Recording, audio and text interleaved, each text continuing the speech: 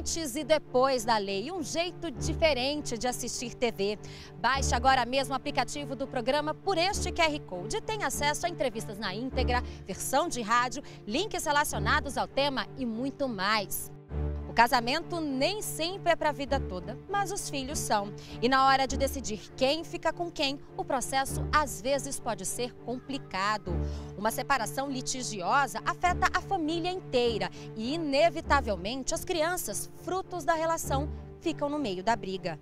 Antes da lei que tornou a guarda compartilhada uma norma, cabia exclusivamente à Justiça tomar essa decisão. A separação é um processo doloroso, não restam dúvidas. Mesmo sendo uma decisão difícil, ela quase sempre, segundo esta psicóloga, é seguida por um alívio. No entanto, o embate pode se acirrar quando a questão é quem vai ficar com os filhos. É difícil eles encararem assim agora, para quem que eu vou abrir mão? Para a mãe ou para o pai? E a criança fica no meio. Até 2014, a legislação que tratava sobre a guarda de filhos era esparsa. Por exemplo, no Código Civil ficou estabelecido no artigo 1584 que, decretada a separação judicial ou divórcio, sem que haja entre as partes acordo quanto à guarda dos filhos, será ela atribuída a quem revelar melhores condições para exercê-la. Havia um entendimento de que, pelo fato da, dependendo da idade da criança, né, às vezes ainda está amamentando e aí é mais é normal que essa guarda fique com a mãe, que tem mais cuidados, que tem mais é, é, compleição física para desenvolver essa guarda e desempenhar essa guarda. Contrariando as estimativas, Lourenço decidiu ficar com os filhos depois da separação, há 10 anos. Eu era muito apegado a filho e família. Foi um, um acordo comum, uma separação consensual, sem, sem atrito e devido às circunstâncias eu fiquei com os meninos devido às circunstâncias de estrutura. A decisão de morar com o pai foi bem aceita pelos filhos. Com meu pai eu sempre fui mais parecida com ele e tudo, então acho que até para mim eu teria escolhido ficar com ele. Eu não me lembro de ter sentido muito a separação. Foi bem tranquilo, que nem meu pai disse. Não teve muita briga, então eu sou bem grato assim pela situação, da maneira como foi. Independente de estar com o pai ou com a mãe, a gente tem sempre que buscar o melhor lado disso. Foi foi bom para mim e para minha irmã. Além da guarda unilateral, existem as guardas compartilhada e alternada. A guarda compartilhada nada mais é que, ao se separarem, mãe e pai detêm a guarda jurídica dos filhos, sendo que a guarda física pode ou não ser alternada. Nesta modalidade, os pais tomam em conjunto as decisões, como qual escolhe estudar, atividades complementares, entre outras. Já a guarda alternada é uma criação doutrinária e jurisprudencial, ou seja, não está prevista em lei é a alternância de residências. A criança, então, teria duas casas, permanecendo uma semana com cada um dos pais. A falta de consenso entre pai e mãe, no entanto, fazia com que grande parte dos juízes delegasse a guarda somente para um dos genitores. Para este advogado, a falta de clareza sobre os tipos de guarda era uma importante lacuna existente na legislação existia uma lacuna e uma, uma grande dose de subjetividade por conta dessa expressão, que a, quando não houvesse consenso entre os pais e sempre que possível, ela deveria ser compartilhada. Agora não, né? agora a regra é, a guarda deve ser compartilhada porque atende o melhor interesse da criança. André teve uma separação conflituosa. O juiz decidiu que o pequeno Cauã ficaria com a mãe. A partir daí, foram inúmeras conversas para tentar chegar a um acordo na justiça. Em dois anos, ele conseguiu a guarda alternada. Eu cresci sem o meu pai e ela também, então a gente precisou meio que entender que seria complicado para ele também perder o convívio do pai ou da mãe. Então nós tivemos que entrar nesse acordo de, de entendimento mesmo, do melhor para ele. Crianças de famílias divorciadas estão expostas a uma série de desafios, tanto no curto quanto no longo prazo. Os problemas decorrentes de uma separação incluem dificuldade de relacionamento, depressão, altas taxas de distúrbios de comportamento e baixo rendimento escolar. Os pais de Alessandra se separaram há 12 anos. Ela descreve os primeiros meses depois do divórcio como um período de crise, principalmente nos estudos. Eu fiquei sem chão, fiquei deprimida, fui mal na escola, eu reprovei na sexta série por causa disso. Era uma guerra dos dois lados. Aí ficou bem difícil. Quem sofria era a gente. E como superar, como vencer esse período de separação? Com amor e com muito respeito. Ela sempre vai carregar esta mãe e esse pai junto dela, porque isso é celular. Onde quer que nós estejamos, sempre estaremos com o pai e a mãe juntos. Para mim tem sido maravilhoso. Então, é poder acompanhar o meu filho uma vez por semana, estar tá com ele na guarda alternada, estar tá, é, acompanhando o crescimento dele, desenvolvimento, podendo fazer as tarefas de casa com ele, passando valores que eu considero importante. Então, independente de não, não estar mais convivendo com a mãe dele, mas a gente vai ter esse, esse, esse vínculo de, de ligação para o resto da vida o sonho de todo pai que pelo menos foi pai, né? E que dedicou parte do começo da vida junto aos filhos, é sempre é gratificante. O que muitos dos pais queriam é isso, é ter essa opção, é poder ter mais esse convívio, né? É, eu acho que nesse ponto é válido, é, tanto com o pai ou com a mãe.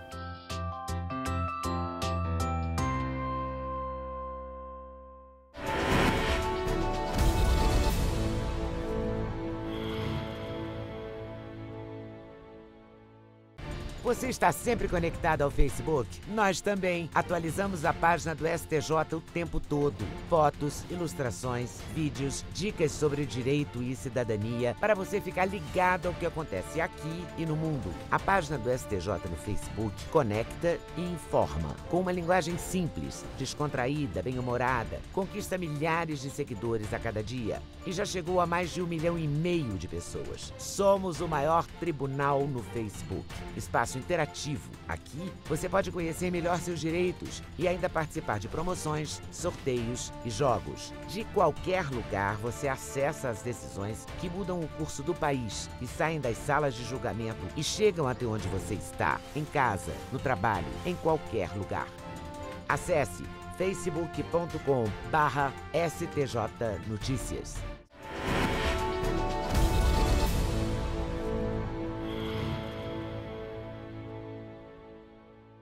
deixar as diferenças de lado. Compartilhar a guarda dos filhos é pensar junto, mesmo estando separado. E não é só despesa e horário de visita, não. É decidir sobre saúde, educação, férias e até religião tudo em nome do futuro deles. A lei da guarda compartilhada, que entrou em vigor recentemente, virou regra mesmo quando há conflito entre os pais.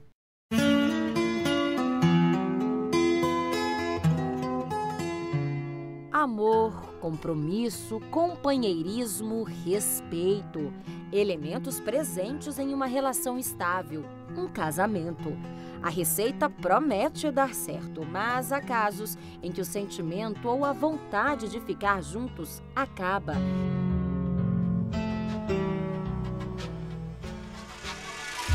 E é hora de pôr fim à relação. Quando se opta pelo divórcio, é preciso partilhar os bens conquistados durante o casamento, oficializar a separação e definir com quem ficam os filhos. E é justamente esse um dos pontos mais polêmicos no fim de uma relação. A forma como os pais vivenciam a separação deixam consequências. E muitos pais, quando se separam, eles, eles não conseguem separar, né? As questões conjugais do exercício do cuidado com o filho. Se o casal soubesse e, desse, e se desse muito bem, eles não teriam separado. Existe aquela parte que não está satisfeita com a separação. E essa pessoa que não está satisfeita com a separação, ela usa as crianças para atingir o outro. E além de atingir o outro, ela vai sempre achar uma pedra no meio do caminho. Muitos pais não querem deixar de conviver com os filhos e a ideia de ver as crianças a cada 15 dias deixa muitos pais e mães aflitos.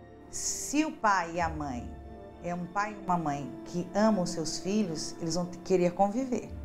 E nós temos que ver que essa guarda compartilhada ela visa dividir equalitariamente o tempo das crianças.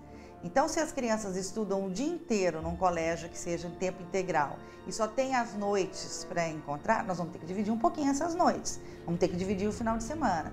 E os pais, tanto o pai como a mãe, têm o direito de ter os seus filhos. A lei prevê o compartilhamento entre os pais separados da convivência e de todas as responsabilidades relacionadas à vida do menor. Ou seja, a responsabilidade é conjunta. Os pais passam a dividir direitos e deveres relativos aos filhos e as decisões sobre a rotina da criança ou do adolescente. Hoje a lei prevê que os pais têm que ter a guarda compartilhada e ter um tempo de convivência entre os filhos equilibrado, sendo tanto para a mãe como para o pai conviver igualitariamente com os filhos.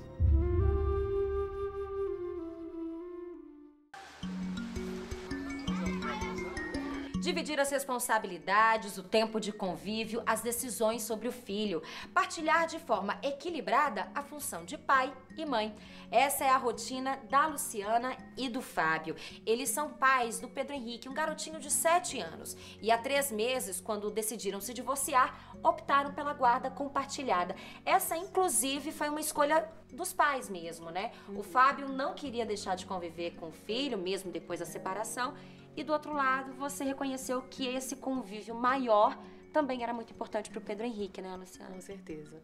Na verdade, quando a gente falou na guarda, é, a nossa prioridade era manter a rotina do Pedro Henrique como estava o máximo possível, né? Mudar pouco a, a, a rotina dele, né? A convivência com ele praticamente permanece a mesma coisa quando a gente estava casado, né? Optamos por o Pedro ficar estudar perto da casa da avó para facilitar também de buscar no colégio, de levar no colégio, né? o que facilitou muito para a gente. Então a rotina dele praticamente não mudou. Fábio vê o filho todos os dias de manhã. É dele a responsabilidade de arrumar o Pedro e deixá-lo na escola. Eu vou com ele para casa da avó cedo, né? dou café da manhã para ele, troco a roupa dele, é, escovo o dente dele, aí eu pego ele e venho para o colégio. Independente do que se ficasse definido, pelo juiz que a nossa intenção era dividir isso, mesmo que informalmente, vamos dizer, né? Para que ele tivesse o menor impacto possível. Até porque ele já tem uma rotina hoje na casa da avó, que é próxima ao colégio. Então, se a gente fosse mudar muito isso, até a adaptação dele seria muito difícil. Para os pais de Pedro Henrique, a escolha pela guarda compartilhada tem dado certo e foi a melhor opção para o filho. Acho que a guarda compartilhada vai muito da relação dos dois, né? É, nossa relação terminou, mas não foi um, um término assim difícil, de briga, de, de, de, bater boca, foi um, chegar a uma conclusão que não dava mais. Guarda compartilhada, ela vem facilitar isso e até meio que é, os dois continuarem se sentindo responsáveis pela criação do filho, para que não aconteça o que já acontece hoje. Muitas vezes um deixa de existir, o papel de um deixa de existir e o outro acaba assumindo o papel de dois. No Brasil, a Lei 11.698 de 2008 instituiu a guarda compartilhada, determinando explicitamente que este deve ser o regime preferencial de guarda a ser aplicado pelo Judiciário, inclusive como forma de se evitar a alienação parental, quando os filhos são vítimas de uma visão distorcida do pai ou da mãe. A lei foi regulamentada e entrou em vigor em dezembro de 2014. Com ela vieram mudanças para garantir os direitos entre os pais e o bem-estar dos filhos. De acordo com a nova Lei 13.058, a guarda compartilhada será regra geral, mesmo que haja conflito entre os pais. Porque os pais, eles podem brigar entre si por qualquer motivo. Porque não deu certo o relacionamento, por bens, por pensão. Mas os filhos não têm nada com isso. Os filhos têm que ter direito de conviver com o pai e com a mãe. Bom ou ruim, são os pais que eles têm. O acompanhamento multidisciplinar é um dos itens previstos na Lei da Guarda Compartilhada para garantir a melhor qualidade de vida aos filhos. Infelizmente, o que a teoria fala, às vezes na prática não funciona. Então, o que nós estamos vendo? Que pais que não conseguem um mínimo de diálogo entre os filhos para assuntos dos filhos, o juiz tem que colocar um psicossocial no meio, uma, uma equipe multidisciplinar, para que seja visto o que, que é melhor para a criança. Se é melhor ficar com o pai, se é melhor ficar com a mãe. Mariana é uma das assistentes sociais do Tribunal de Justiça do Distrito Federal e Territórios e prepara o relatório psicossocial entregue ao juiz nos processos de guarda que necessitam do atendimento às crianças e pais. Precisa entender é, como essa criança chegou nessa família, né? Como ela é cuidada, como ela é acolhida, é, como estão os vínculos familiares, se esses pais são pais protetivos, quais as competências e a partir daí se pensar é, um pouco mais qual o impacto disso na vida dessa criança, né? Para a assistente, não é o regime de guarda que define se vai dar certo, e sim as relações familiares. Compartilhar necessariamente não garante é, o bem-estar dessa criança. Como o Ministério Público ele está vendo o melhor lado para a criança, ele também ele não pode avocar para si a responsabilidade de resolver todos os problemas que surgirem em relação às crianças. Então você já pensou? Um processo não vai terminar nunca. Mas aos pouquinhos as coisas, eh, os, os pais vão ver que eles vão ter que conversar. O psicossocial está fazendo um trabalho muito bom, ah, sabe? As assistentes sociais estão indo nos lugares e aí a gente está aprendendo a colocar em prática essa lei agora. Eu acho que isso é importante até para o crescimento dele, para a convivência dele. Isso tem que estar sempre presente. E o foco de quando a gente se separa, né, quando tem o divórcio, deve ser é, na criança sempre, porque os filhos eles têm que sofrer o menor impacto possível.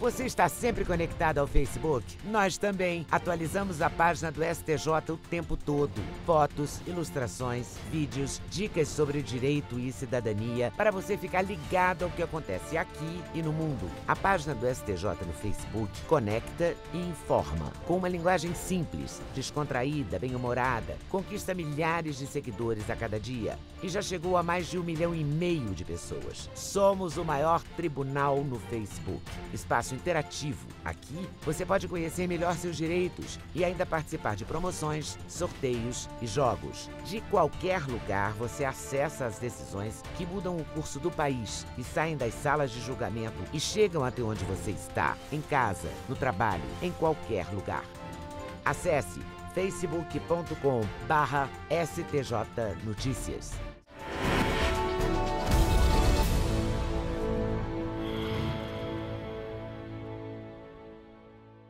felicidade dos filhos acima de tudo. Essa é a filosofia de muitos casais que se separam e assumem as responsabilidades juntos. Mesmo com a guarda compartilhada, eles são uma exceção. Na maioria dos casos, os filhos ficam com a mãe.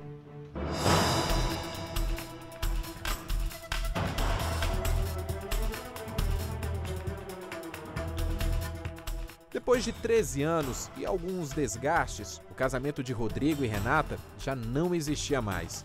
Por causa disso, eles passaram a engordar as estatísticas dos divorciados. Em 2013, ano do divórcio, foram mais de 324 mil separações, segundo o IBGE. Rodrigo, quem decidiu primeiro por um fim no relacionamento? Foi, acho que foi conjunto, mas acho que a Renata foi a que tinha mais a, a mais certeza de ter o fim do relacionamento. Chegou num ponto onde o, o casamento não, não acontecia mais, não era uma coisa que estava sendo legal. Eu não estava me sentindo bem, ele não estava se sentindo bem, é, estávamos com vários tipos de problemas. Mas com Felipe e Eduarda, frutos da união, a família não podia acabar e não acabou. Graças à guarda compartilhada, a família encontrou o jeito, a fórmula mais conveniente para garantir o dia a dia, a convivência diária com os filhos. Vocês já decidiram logo pela guarda compartilhada? Foi, na, acho que foi na mesma hora a gente foi, como é que vamos fazer com as crianças? A resposta para essa pergunta está no próprio documento do fim da união estável que eles registraram em cartório. Por exemplo, Renata combinou com Rodrigo que o período de férias das crianças será dividido igualmente entre eles. O mesmo vale para finais de semana e feriados.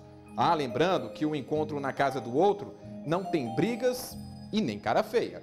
Para evitar um estresse maior a ponto de atingir os filhos, então foi preferível que a gente fizesse essa separação para evitar um problema mais grave, vamos dizer assim, um desacordo maior, é, porque aí você deixa de gostar da pessoa para odiar a pessoa. Essa forma amigável de lidar com a criação dos filhos ainda é uma exceção. Apenas 6% de filhos de pais separados vivem guarda compartilhada no Brasil. 85% das mães ainda têm a guarda das crianças. As mães sempre compartilharam guarda com o vizinho, com a creche, com a avó, mas com o pai não pode. Portanto, agora é um, uma grande conquista das crianças poder conviver com o seu, com ambos os pais. E vai dar problema? Vai, mas problema de verdade são os, os filhos que não convivem com os pais. No caso de Rogério, isso aconteceu não porque ele quis. Rogério conta que o fim da união de sete anos com a ex-mulher não foi tumultuada, com brigas, nada disso. No início, foi feito até um acordo. Com o tempo, as coisas foram ficando difíceis, cada um com a sua vida, cada um com seus companheiros. Daí que começaram os conflitos, de certo. E na primeira tentativa de pegá-la, que era uma terça-feira, não consegui, teve muita confusão na residência dela, que ela convive hoje. E na outra tentativa também não tive sucesso, e aí a gente teve que ir para a justiça resolver essa questão. Por causa disso, Rogério ficou sem ver o filho. Eu fui buscá-lo no colégio e tinha uma determinação lá no colégio judicial que eu não poderia mais pegar o meu filho, mais ver o meu filho, até uma nova audiência.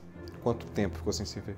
Quase dois anos. Dois anos? Quase dois anos. Nesse período nem por telefone, nada? Eu, numa primeira audiência que teve após esse, essa determinação, que demorou quase seis meses para acontecer, eu não tive convívio nenhum com ele. Até ele conseguiu um acordo com a mãe para encontrar com o filho aos domingos. Mas quando foi marcada a audiência favorável ao retorno do convívio do pai. Nesse meio termo, ela mudou de estado.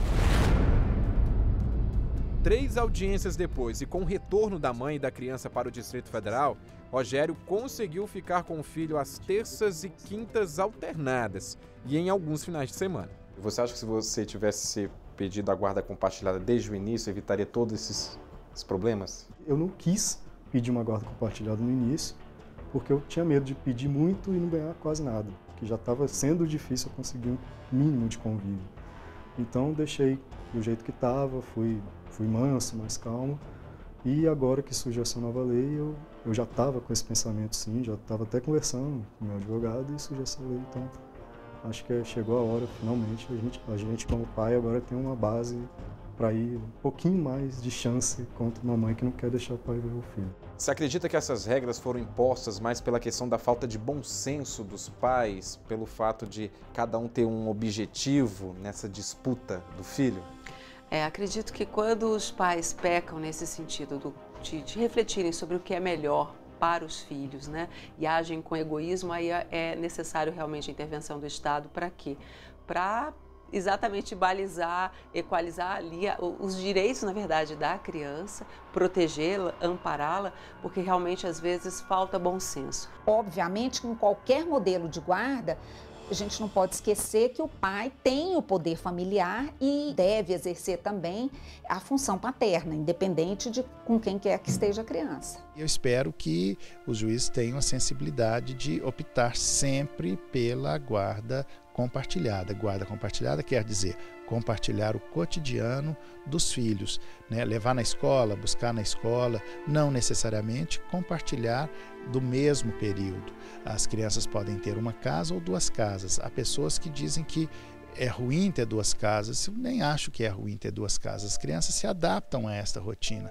Elas ficam o dia inteiro na escola, podem, elas vão se adaptar a essa rotina. O importante é que elas convivam com ambos os pais. Seja unilateral, alternado, compartilhado, deve-se pensar primeiro na criança, não numa vontade própria, né? Sim. Nesse momento a gente tem que priorizar o direito da criança, aquilo que realmente vai ser mais conveniente a ela, não a gente. Agora é claro, a gente precisa também equalizar o estresse de cada um para que isso não recaia também sobre a criança. Porque uma coisa é nós pleitearmos a condição ideal, mas a condição ideal nem sempre é a condição possível. Então a gente vai procurar dentro do possível aquilo que é o mais adequado para aquela criança. E é assim que os ministros do Superior Tribunal de Justiça têm avaliado, na maioria dos casos, que chegam à corte. Em decisão recente, os ministros do STJ pontuaram que a intransigência do pai e da mãe dificulta o objetivo da guarda compartilhada, que é o bem-estar da criança. Quando as referências, no caso pai e mãe, né, os pais não estão legais com aquilo, corre o risco sim da criança ser uma com o pai, uma com a mãe, uma na escola, e ela começa a mostrar outras facetas de adaptação em outros lugares. Então, na escola está tudo bem, está tudo tranquilo. Você não fala que é a mesma criança. Aí vai na casa do pai, aquele não comporta. Aquele não aceita regra, porque aqui ele isso, aquele aquilo. E com a mãe, como é que tá? Ah, não, com a mãe um doce, tá uma maravilha. E é exatamente isso que Renata e Rodrigo não queriam para Felipe e Eduarda. Eles deixaram as diferenças de lado para não prejudicar as crianças. É minha responsabilidade como pai. Não é só o que as pessoas acham, ah, não, o pai vê só final de semana. Não. Ele foi feito por mim e por ela. Então, vamos dividir isso, vamos conviver juntos para que os dois tenham a mesma responsabilidade sempre. Por que, que eu tenho que ficar 15 dias seguidos, ter, ver as crianças crescerem, pegar o dia a dia das crianças, o desenvolvimento, é, as descobertas, e ele não. Se fizessem isso comigo, eu não ia gostar.